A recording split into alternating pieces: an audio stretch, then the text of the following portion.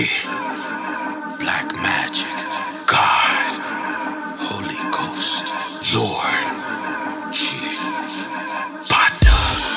Orgasmic. Order more acid. More than four tablets. Portal door passage. Born before mortal war happened. We were lords way before we were poor black men. Now we like Catherine, only having four Jacksons. Sword of pure magic, slaughter four dragons. Heat like corduroy fabric, door to door tactics. Easy like tortoise on boarded floor backspins. Rapping like the man that created it. And I just play with it. Shine radiant, raising it, sunbathing it. Voice tone sharper than razor tip when I aim it at megaliths, make them raise and lift. You can't relate to this, even if you paint a pic of me and you and somehow make the faces switch. I like to babysit, throne made of baby skin. Donated by natives that procreate in sin. They gon' need to raise the rim. They gon' need a cage in that gymnasium. I play to win, Will Still Chamberlain. Put the globe on my middle finger and made it spin. They gon' need to raise the rim. They gon' need a cage in that gymnasium. I play to win, Will Still Chamberlain. Even Damien and Satan is afraid of him. I heard the devil's Tasmanian.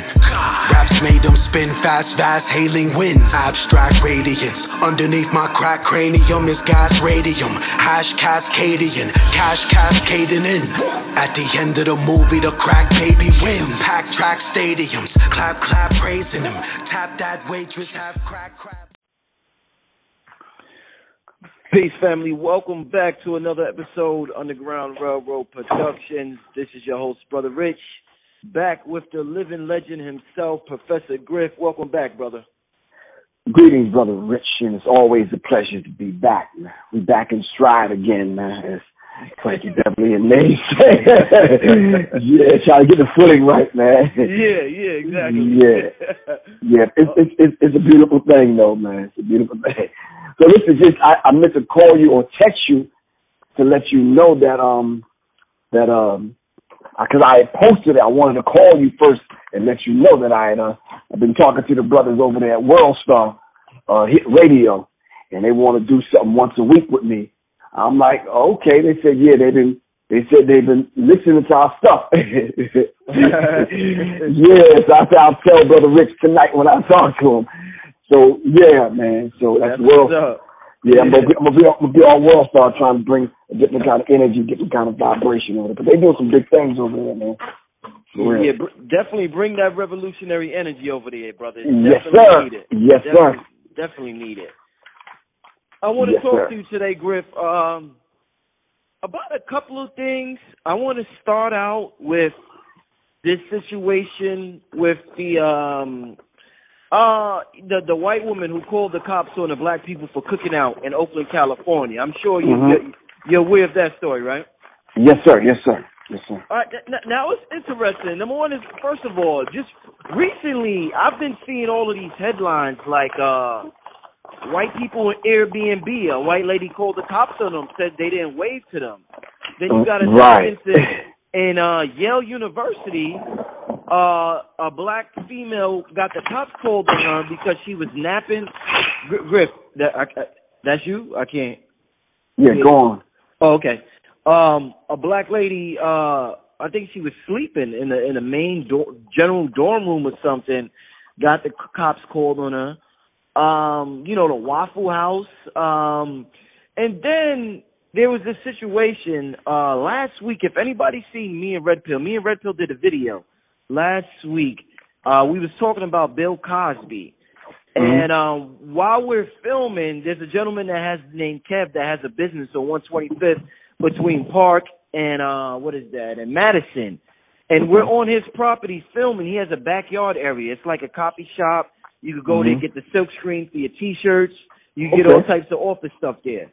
So we support black business. We go. That's where Red Pill gets all his clothing made at, shirts and everything. Right. There's a backyard area. We're filming in his backyard area, just me and Red Pill.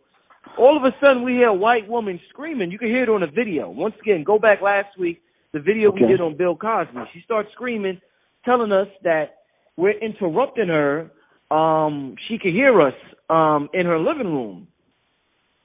So we tell her, you know, we we, we laugh it off like, all right, colonizer, go back to your room. yeah, yeah, it, it's Uh, literally on video. It's literally on us calling it all of that. It's literally on video. So she goes away. We film about tw- about I would say 15 minutes later. She comes back screaming again. Oh, Excuse wow. me, I can hear you in my living room. I can hear you on my property, just screaming at the top of lungs. So that's when I I, I pressed stop on the camera. That's when I, I got I, I got upset, and I'm I'm Mhm. telling her, you know, I'm telling her like, yo, we're not playing music, mad loud. It's seven o'clock in the evening. I'm like this. I'm like I told her like she's crazy. Like this is white privilege at its finest. We're Right. talking. She's upset that we're talking loudly and she has her window open and she can hear us in her property from our property. So we're not a, we have Wow. to keep our talking down. It's two people. Me, I'm not talking. It's just Red Pill. But we had Red Pill's Right. not allowed to talk above a certain decibel. I mean, it, it it was it was crazy. We was like, is this lady serious? like, you know what I'm saying? So we Right. so we told her off. We kept filming. She didn't come back out, or, or she didn't say nothing after that. But it was just like the audacity of her. So when I see all of these headlines, I told I, I called Red Pill. I'm like, Yo, Red Pill, we just had a situation last week. It got caught on video where a white lady got upset for us conducting an interview on our own property. She Mm. wants us to stop our interview on our own property at at seven in the evening on a Friday night because she felt as though she had her windows wide open and she wants complete peace. We're on 120. She, this is New York City. There's trains, Right. there's buses. you know what I'm saying? Right.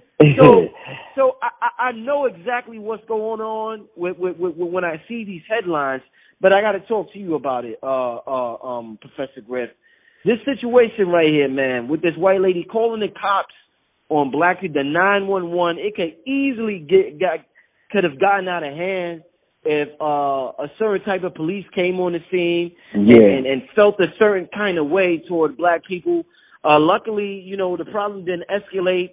Nobody got arrested. There was no tickets given out. And, and we're able to make jokes about it on social media. But this is a very dangerous thing that continues to happen in this country.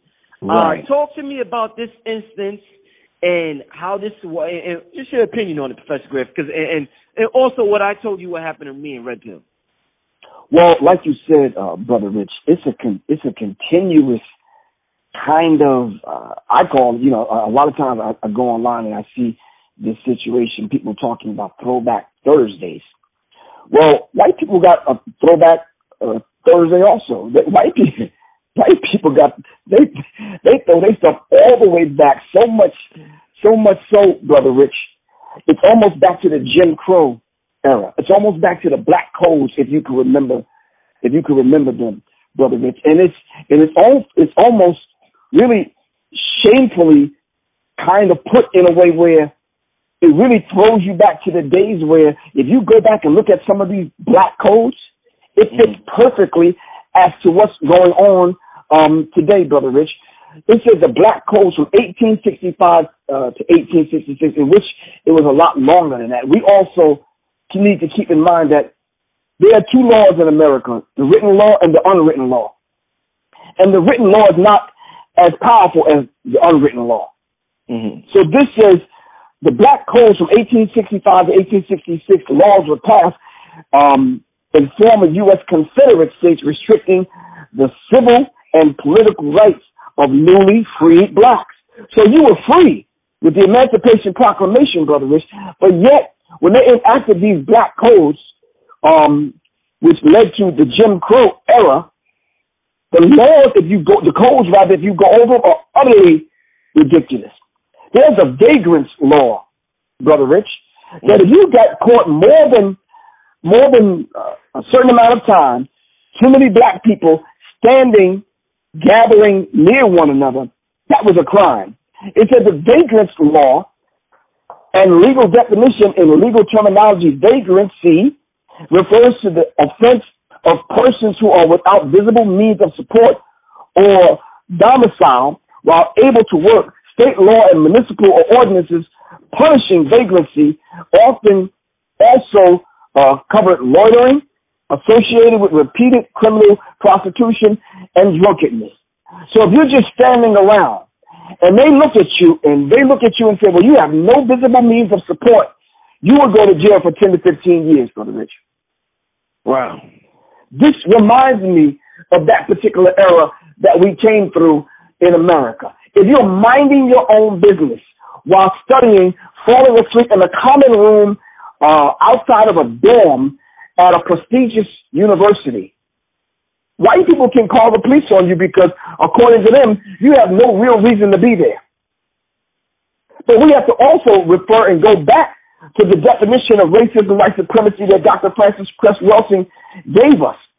And I'm not repeating this just just for the fact of this particular um, interview, Brother Rich. I think this is a uh, um, a uh, practical definition that all of us, especially if you're black, need to keep in the forefront of our minds. Definition of racism and white supremacy by Dr. Frances Cress Welsing. Racism and white supremacy is the local and global power system and dynamic structured and maintained by persons who classify themselves as white. Now, just with that alone, that's one sentence, Brother Rich. There's so much in that that we could break down, but for time's sake, it's a local and global power system and dynamic. These people were barbecuing. Hmm. She came and read an ordinance and uh, basically stating that you could barbecue, but you just can't use charcoal. And she stood there for two hours trying to get the police until another woman confronted her. So if this is is a, is a power system and dynamic, dynamic, dynamic, pardon me, structured and maintained by persons who classify themselves as white, whether consciously or subconsciously determined, which consists of patterns of perception, logic. I need you. I need, we gotta listen to this, brother Rich.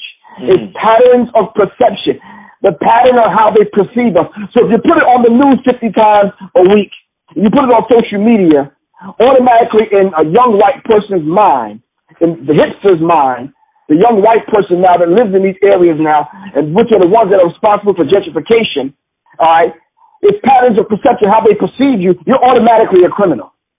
Mm. Logic, because they don't use logic, symbol formation, thought, speech, and action, and emotional response as conducted simultaneously in all areas of people activity.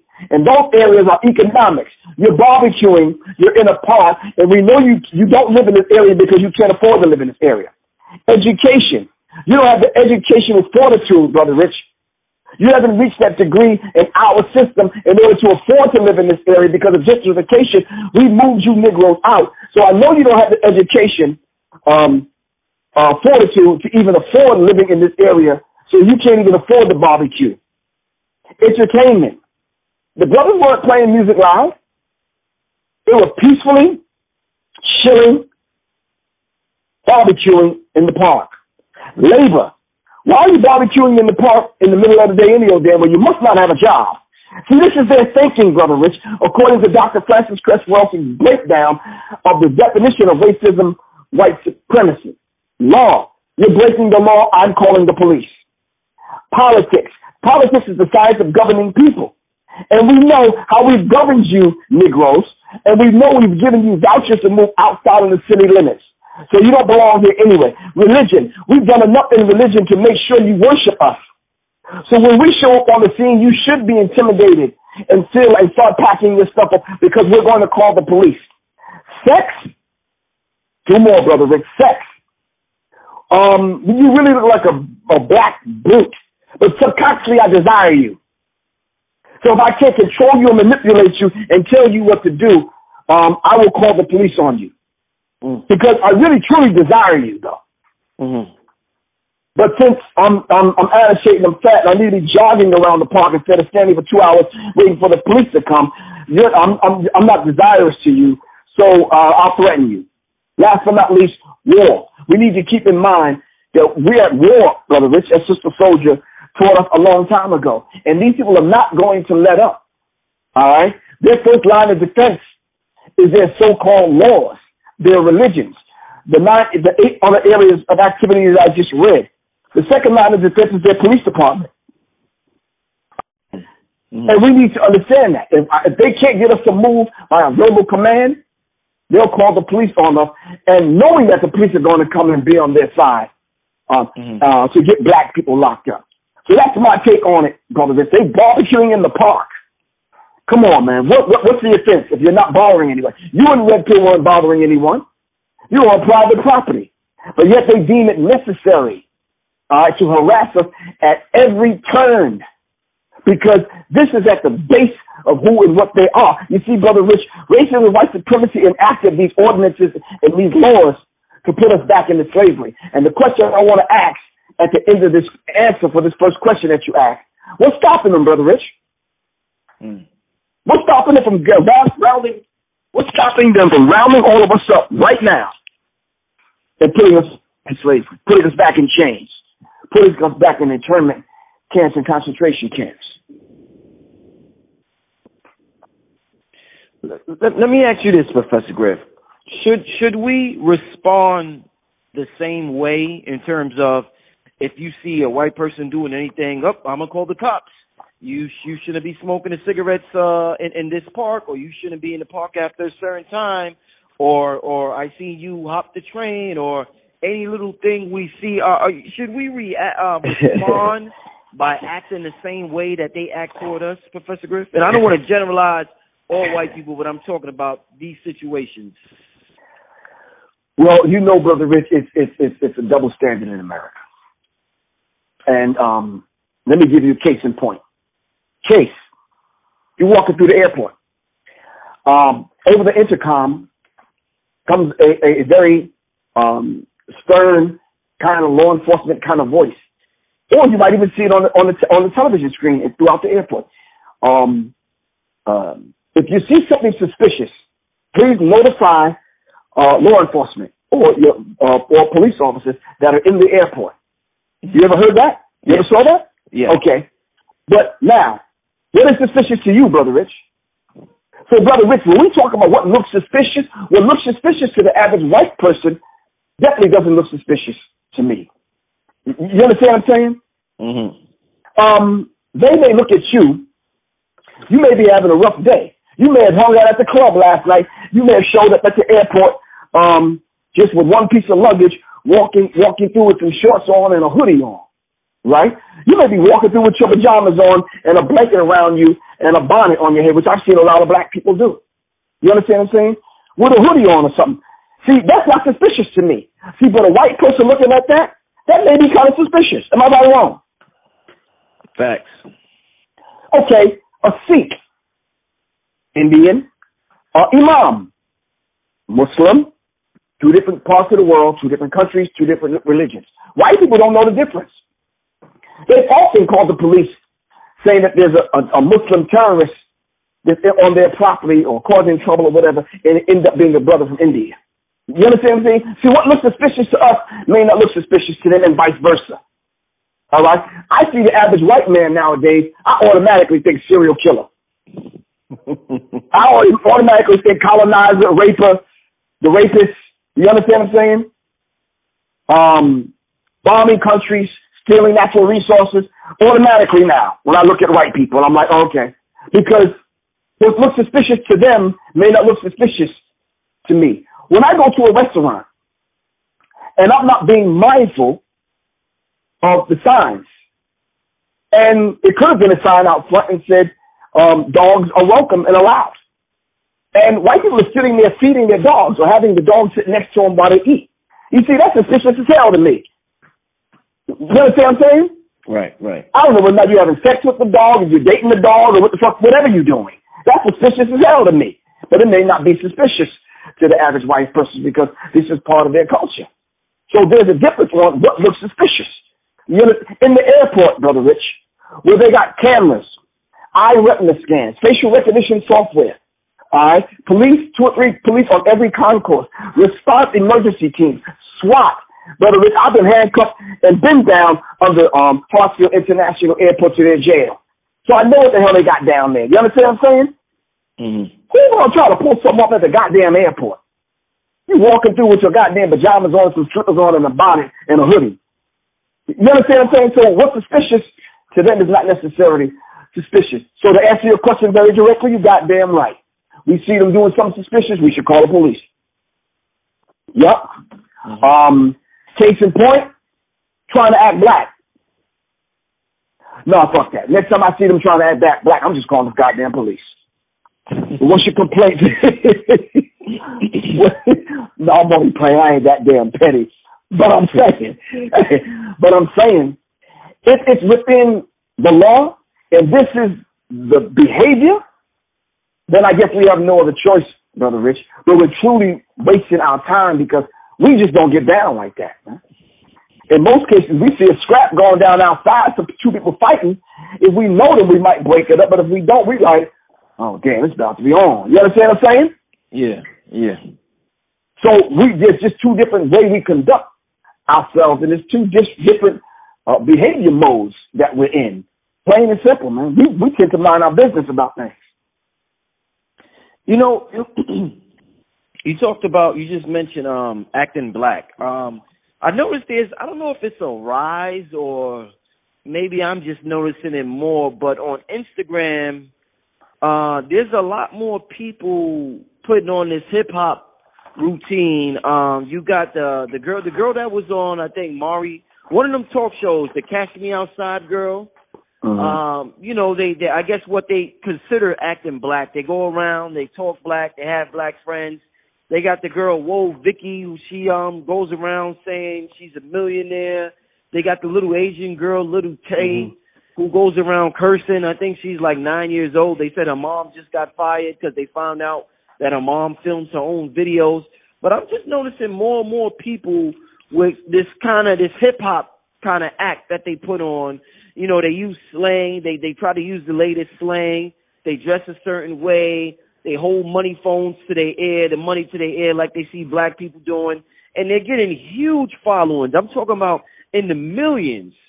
Uh, what do you what do you think? Why is this so interesting in 28? We've done seen this year after year after year. Why is this still so interesting in 2018 to the world to see white people or Asian people or whoever put on this so-called black persona, Professor Griff?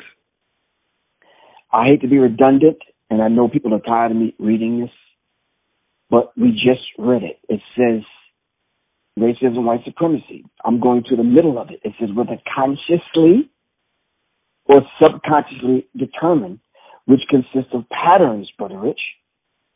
Do you understand what I'm saying? And it mm-hmm. operates in all areas of people activity. All you did was just cover the entertainment aspect. Mm-hmm. And this is for this is to prevent white genetic annihilation. They kind of figure if they kind of act black, they won't be perceived by black people as the colonizer, as the one that they should uh, redirect their anger um, towards. So white people want to fit in. I saw some of these YouTube clips. There's a young white dude on YouTube just crying to his mom he just wants to be black. I right, mean, it's like it. I've seen it. Yeah, and it's like wow, it's just something about black people. You see what it is? It's it's it's, it's a uh, it's a love hate relationship. They they they love hip hop, but they hate where hip hop came from. They love that culture, but they hate black people. They love how we walk, our swag, our talk, how fly we are, how we dress, how we make something from nothing. You understand what I'm saying? But they hate us at the same time. They will use us. They will see us in how we do things.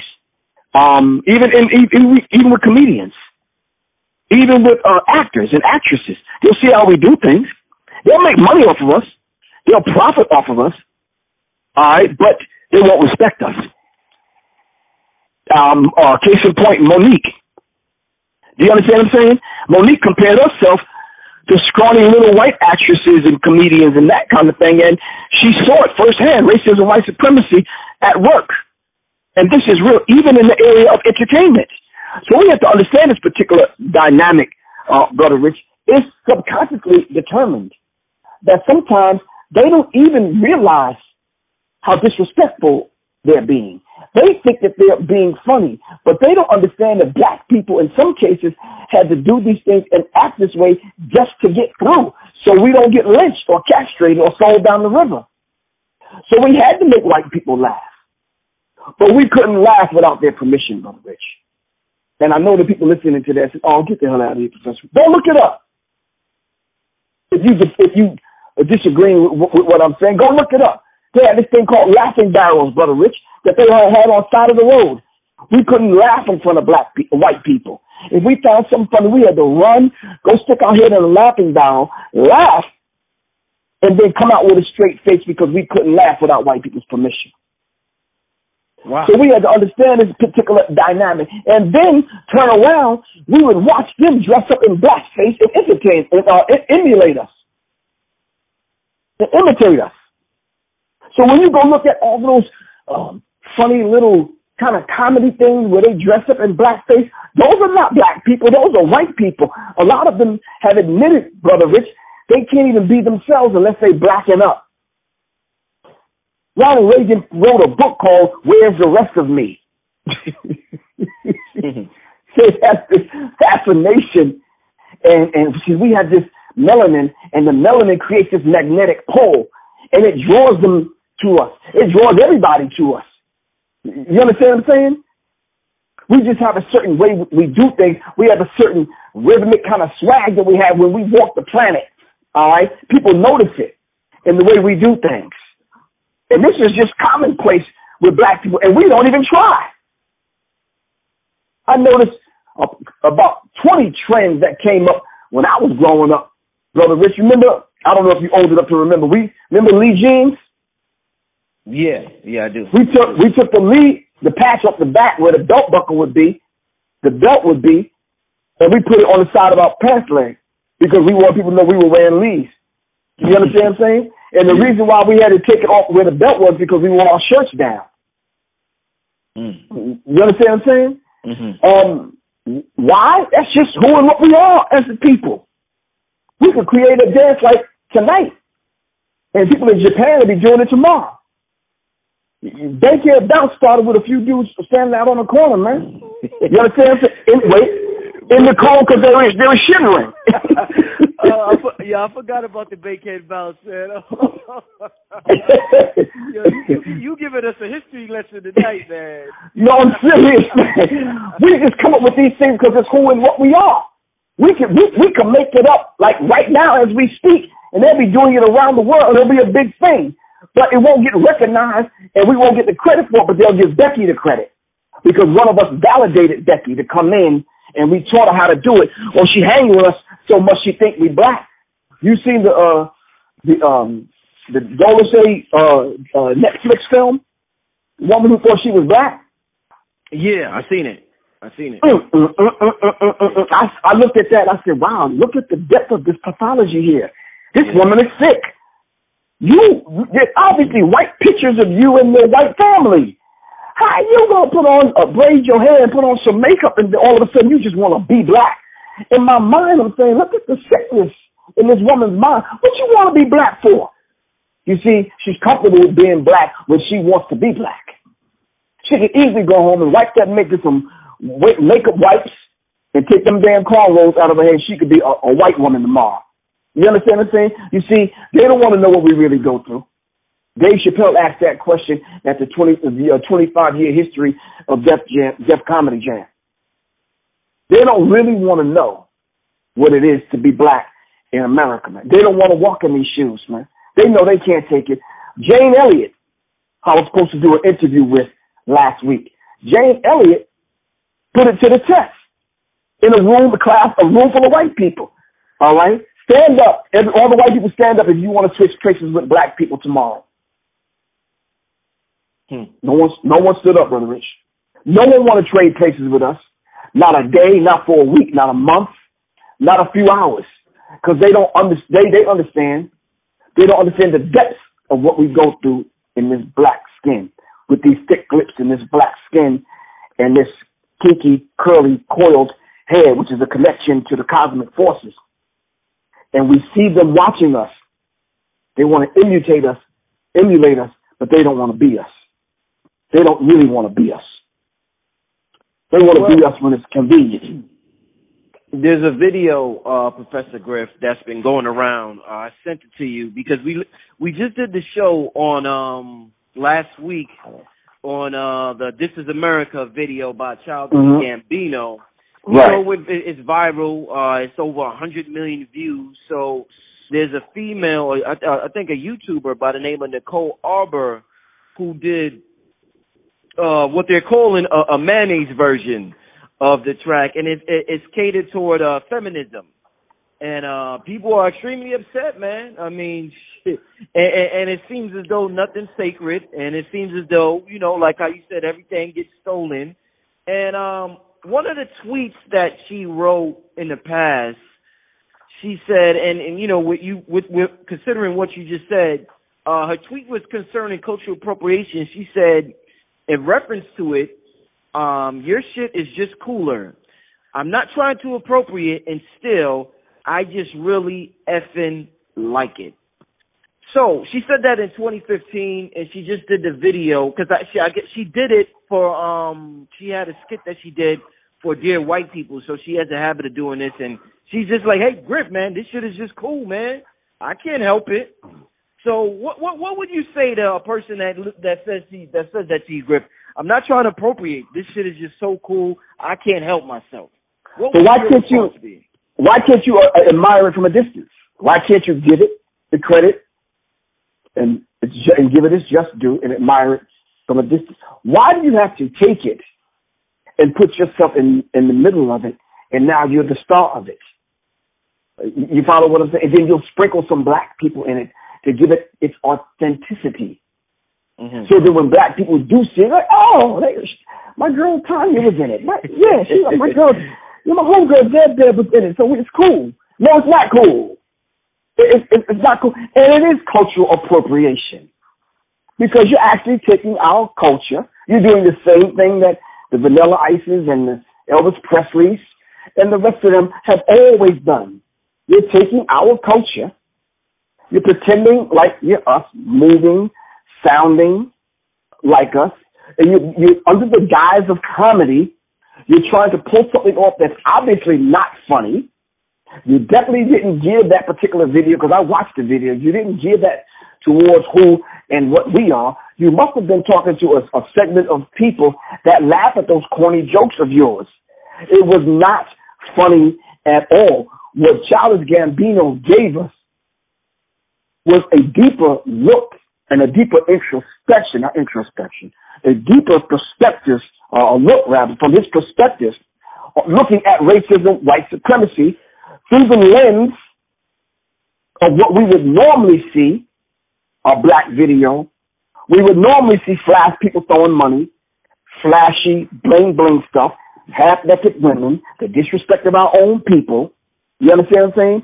There's a number of things that we would see. But what he did was he went back and looked through the lens now of a black man that would be perceived as being conscious. And he flipped this, he flipped the script and he made us look through this lens and asked us a question. Are y'all really watching this? Because this is America. What he was actually saying is this is America on how we see America. So all he did was hold the mirror up so people could see America for what America really is. White people just, I've said this, um, I'd say about eight months ago you, Brother Rick. White people just need to stop. Stop. And I want to ask white people a question right now because I know they're listening. Uh-oh. What is it that that white woman could have actually pulled from white culture that she would have been satisfied with? I'm going to ask that question again. I don't want to talk too fast. I'm from New York like you are, Brother so let me slow it down. What is it in white culture that the average white woman, quote unquote comedian, could have went to white culture and said, okay, what can I do? What have white people actually created that I can pull from to get my day going? Let's answer that question, Brother Rich. There was a time in white comedy where white comedians did their thing, especially with silent film, before they were sound. The Charlie Chapmans and the, the rest of these kind of characters.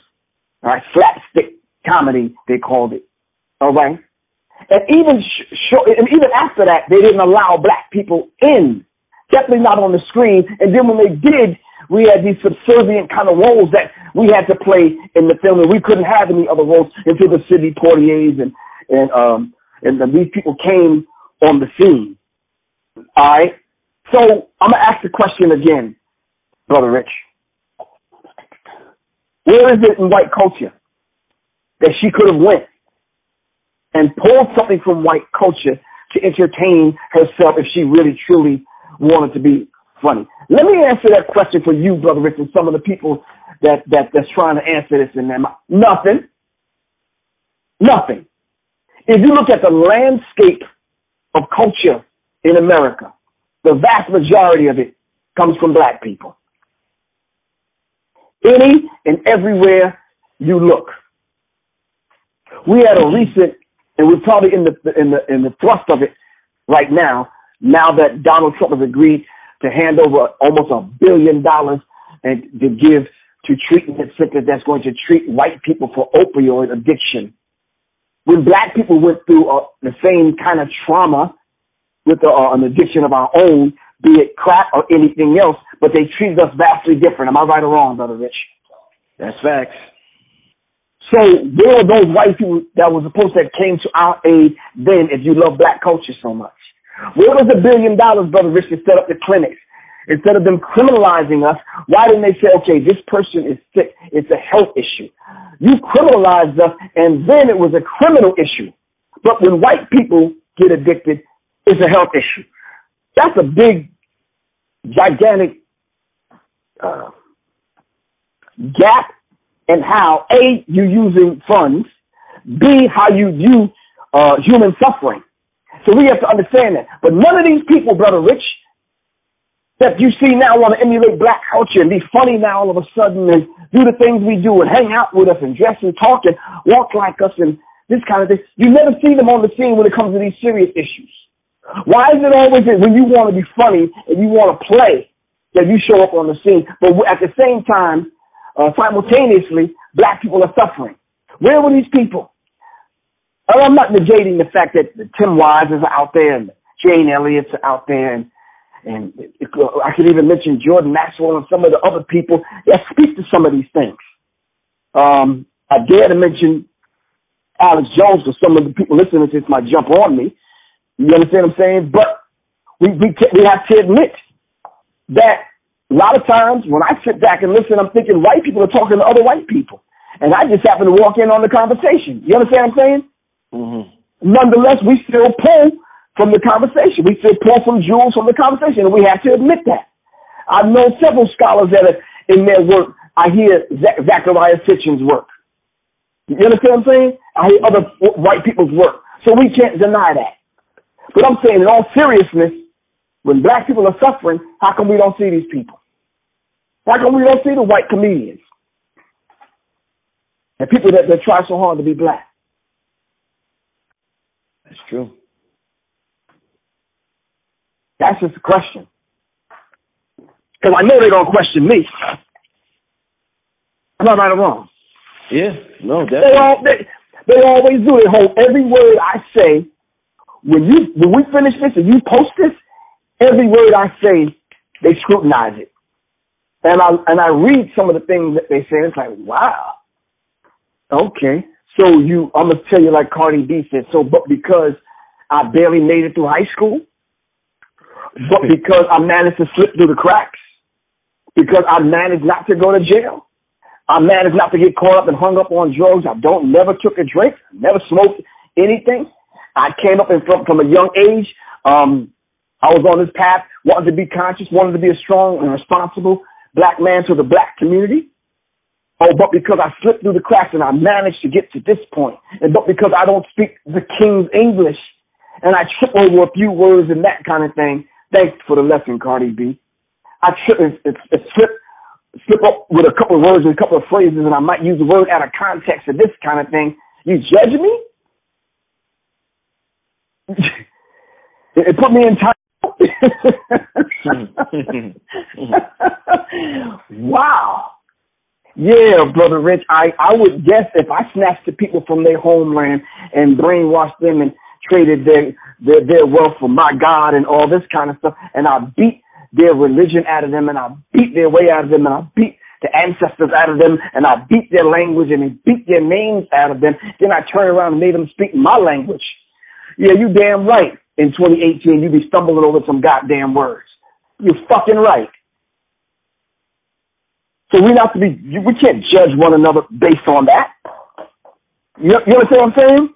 Mm-hmm. Elijah Muhammad had a third grade education and shook the world. Sidebar.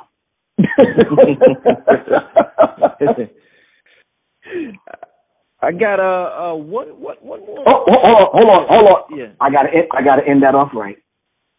How many of them have been kidnapped and dragged to Africa and put in chains and put in slavery, and they couldn't speak English because their tongue will get cut out or their genitals will get cut off, and then 400 and some odd years later, they speak in uh, African dialects fluently. None. Mm. None. I had to say that, brother, because I know what the people are thinking when they hear this on YouTube. you guys been in America long enough, you should be speaking English well. Well, you motherfuckers have been in Africa long enough, you should be speaking 1,000 different dialects that we speak in Africa. So shut the fuck up and get the fuck out of my face with that bullshit. Anyway, go on. Oh, by the way, those, those last two sentences, that's English, brother Rich. Go uh, I, I got well, one more question for you, Professor Griff. Um, you know, you gave us, you, you went into some, uh, some, some history that I'm sure a lot of our people weren't aware of. The laughing barrels. Um, you know, you talked about the black codes, and mm-hmm. I'm, I'm hope, I hope a lot of people go and look up this stuff and research it. And um, it makes me think about something we you know we never got the chance to talk about the Kanye West situation. Um, you know, we was busy doing what we was doing. But one of the things Kanye Kanye's known for, you know, his fashion line. You know, he he's known for being a creative and you know his music and you know him being a visionary and you know he wants to have a clothing line. All types of ideas he says he has. And uh, one of the things he says is that you can't focus on slavery. You have to be creative. You have to look toward the future. You have to think toward the future. So some people get upset, not upset when you talk about the black codes or, you know, the laughing barrel, but they feel as though in order for, in order for us to be as creative and as innovative as we once were, we can't continue to look to the past, Professor Griff, about the laughing barrel and about the, we have to think to the future in order to be creative. So this is what I guess Kanye West is coming with, and a lot of people's coming with with this free thought movement. They want to look toward the future. They want to be futurists. They want to be the like Nikola Tesla, not Nikola Tesla. Um, this this new guy. Um, uh, the the guy. What's his name? Elon Musk. Uh, and and come up with these inventions and stuff like that. They want to, you know, be the next Steve Jobs and invent the next iPad.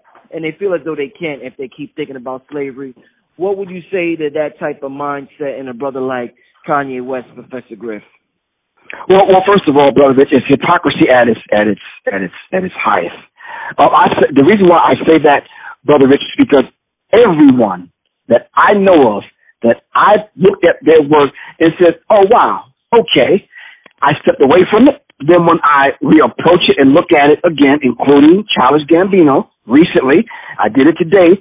I was sitting with some musicians and we were going over some music and, you know, the Bruno Mars, the Charles Gambino, you always hear us in these songs from back in the day. I defy anyone right now. Pull up this song. You, everyone always goes back, Brother Rich. You're a producer, Brother Rich. I heard some of your work. All, all of us go back to see what was that vibe back in the day because we want to get inspired by it, right or wrong. That's right. Yeah.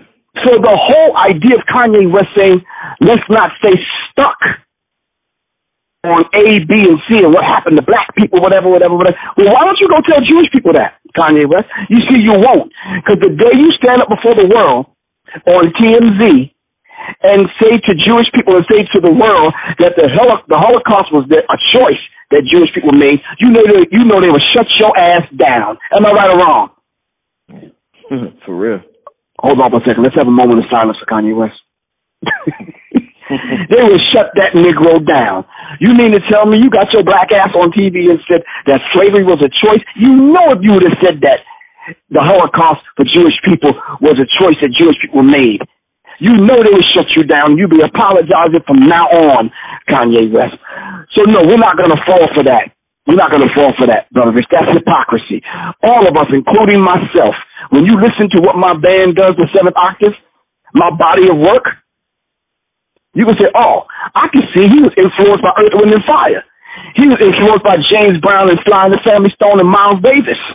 You understand? He was influenced by Thelonious Monk. Oh, I, I, okay, that little riff right there. I know where you got that from. Gladys Knight did that in her song "Midnight Train to Georgia." You understand? What I'm saying? We always go back.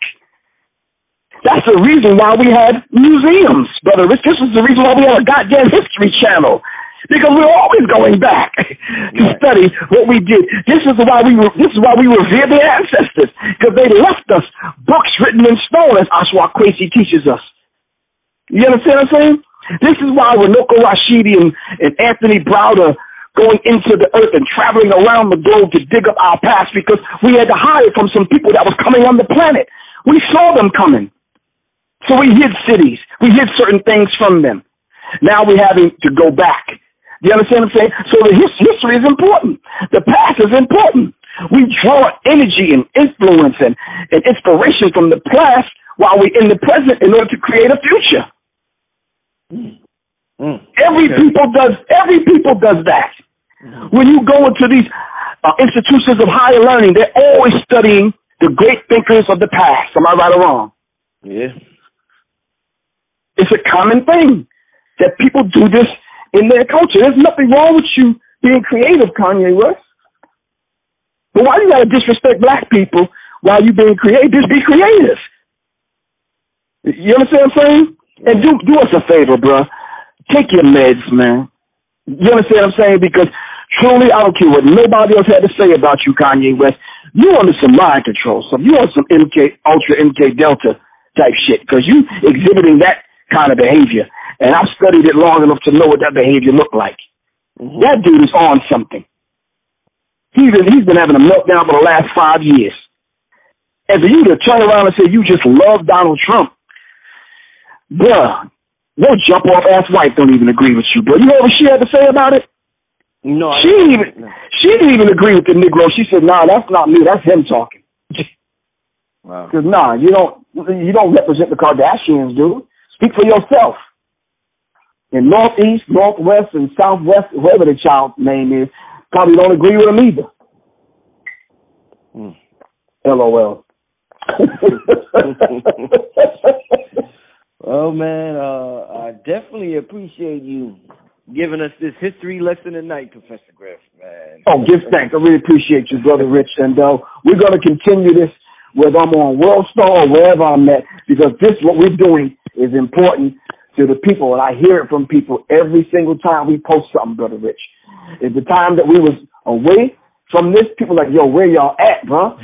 truck drivers, truck drivers were calling me like, look, man, seriously, I don't know what you're doing, but you was going to tell that. Gotta go back on, man. I'm serious, man. So yeah, it's it's definitely a beautiful thing. Shout out to all the truck drivers and all of the people that have those jobs where y'all just put the headphones on and listen to what me and Brother Rich got to say. What whatever whoever Brother Rich interviews on his channel.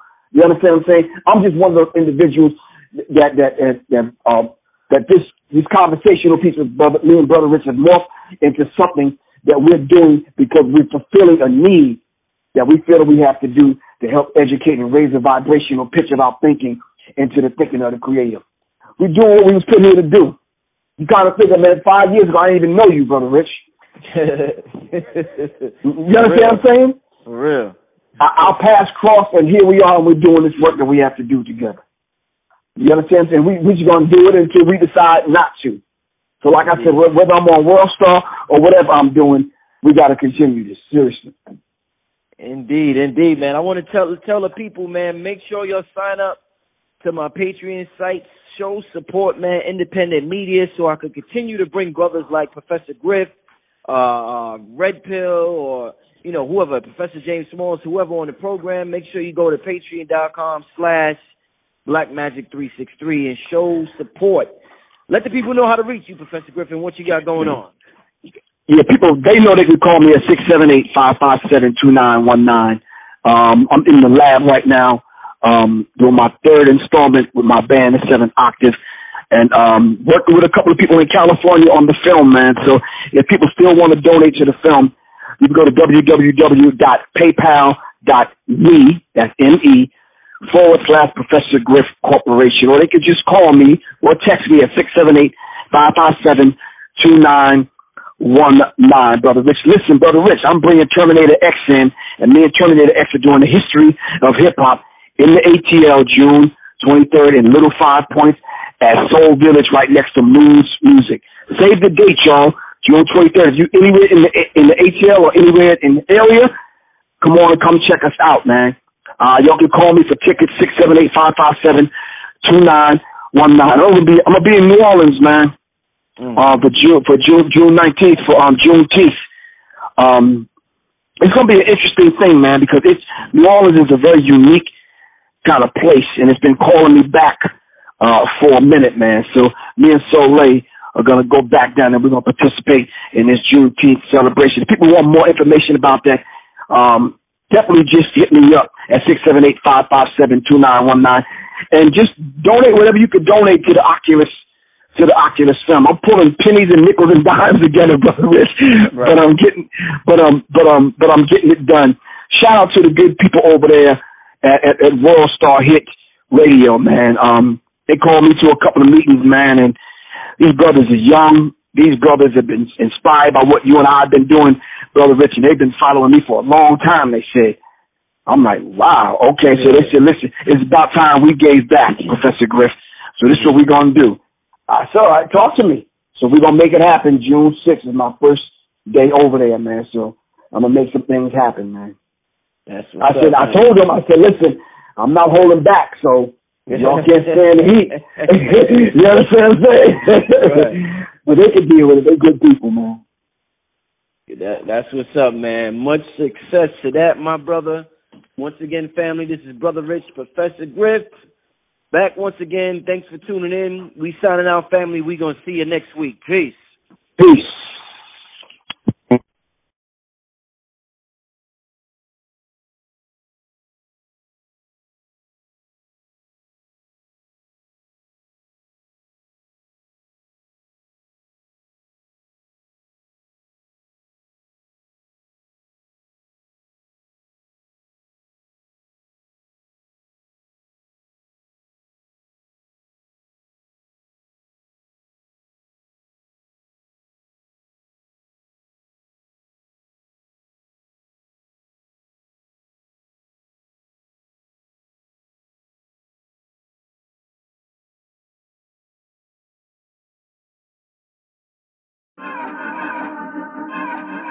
G.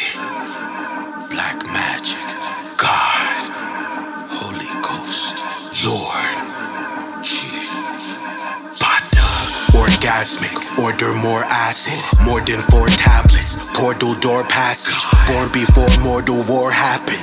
We were lords way before we were poor black men. Now we like Catherine, only having four Jacksons. Sword of pure magic, slaughter four dragons. Heat like corduroy fabric, door to door tactics. Easy like tortoise on boarded floor backspins. Rapping like the man that created it, and I just play with it. Shine radiant, raising it, sunbathing it. Voice tone sharper than razor tip when I aim it at megaliths, make them raise and lift. You can't relate to this, even if you paint a pic of me and you and somehow make the faces switch.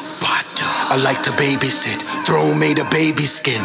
Donated by natives that procreate in sin. They gon' need to raise the rim. They gon' need a cage in that gymnasium. I play to win, Will still Chamberlain. Put the globe on my middle finger and made it spin.